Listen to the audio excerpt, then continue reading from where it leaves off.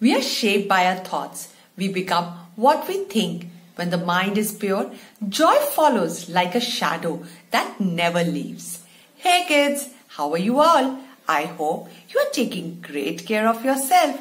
Today, in this video, I will be talking about shapes and how to make 3D shapes which will be helpful for making projects. The object around us comes in various shapes and sizes we can see shapes like square, rectangle, triangle in a sheet of paper.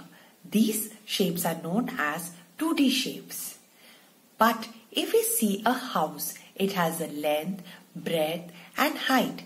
These are known as 3D shapes.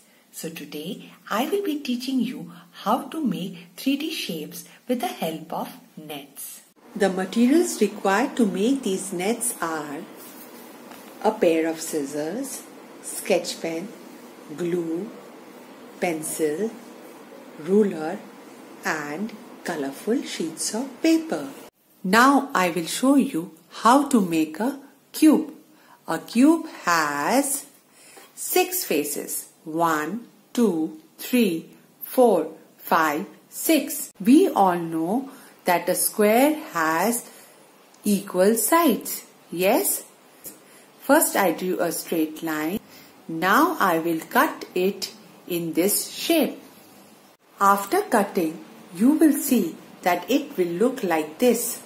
4 in a straight line, 1, 2, 3, 4 and 3 in this straight line. Like now you can see that I have cut the net but we cannot stick it like this because it doesn't have any connector. Now I will show you how to make the connectors. So let me label these boxes 1, 2, 3, 4, 5, 6. So we will draw a line 0.5 centimeter. You can choose. It hardly matters. So on the first, on the second, on the fourth, and on the fifth. Yes, so we will make these connectors. We will draw lines straight like these and then we will join. Now you can see that I have made the connectors and even I have drawn the slanted lines. Now when I will cut, I will cut along these connectors and the border of the cube. Now I will show you how to cut and how will it look like after cutting. Now you can see I have cut this with the connectors. You have to cut along the lines. Now you have to fold each of these. Why do we fold it? So that when we move this and when we are forming the cube, it sticks properly. These connectors we will be applying glue like this. I have applied the glue and now I will just press little bit and stick it along these connectors. These connectors will go inside like you see the sweet box. Now you can see that these cubes are done. Similarly, I have made the net for a prism. I have drawn one big triangle and then marked another. So, in total we have one, two, three, four triangle. And if you see like this, it looks like one triangle. Yes? So you can draw three triangles together and one like this. Over here the connectors are here at the top, uh, here and here. So now when we fold it gets stuck like this and we get a prism. Yes or the roof of a house. Now over here you can see that I have made the net for a cylinder and you can see that I made a rectangle with two equal size circles and these are connectors. So when I will roll it, these connectors will help me to stick faster. Now you can see that I have stuck with the help of glue. Now you can see that the both the sides of cylinder is stuck but this is left. So I will apply glue over here and stick along. Our cylinder is ready. Let's see what we can make out of these. Out of making a windmill.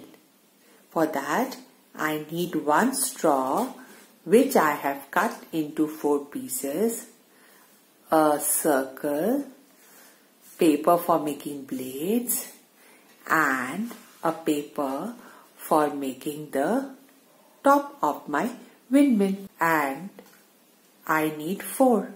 So I will fold it into half and make four. After cutting it into four pieces, I will roll it on the pipe and make the fan. So this becomes my fan. I rolled and I stuck with the help of glue and I made the fans of my windmill. Now I will attach to my cylinder. Now while placing the fans I saw that my straw is quite big. So according to the size of the cylinder I will chop and make it smaller. And now, now you can see that I have stuck my fans but it is not looking good. So you remember I told you that I re we required a circle. So this I will stick it here. Now my windmill is ready but it is looking incomplete. So making the cone we require a used sheet of paper and we will make a circle. Now let's cut it. You can see that I have cut the paper in circle shape. Just fold it, make a crease and cut into half. Now you can see that I have cut the circle into two halves. Now I will pick one half and I will roll it and form a birthday cap. Yes, our cone is ready. Now we will stick. Now you can see that I have made the cone which I will stick on my windmill like this. I stuck a sheet like this from inside and now I will stick onto the windmill. Yippee! My windmill is complete. Isn't it looking nice? What should I make with this cuboid? So, I prepared this net and I placed the roof like this. Isn't it looking like a house? Now I can draw a door and a window and my house looks complete. Oh, with this cuboid, I can make a bus. Children, I converted my cuboid into a bus. Wheels of the bus goes round and round, round and round, round and round. You can use your imagination to convert this cuboid into anything. You can use these as pyramids, great pyramids of Egypt. Children, I hope now you know how to use nets for various projects. You can use various nets in your projects and use your imaginations in making them. I am sharing pictures of nets so that you can make your own nets and make 3D objects. I hope you like this video and will surely apply these in your projects. Thank you.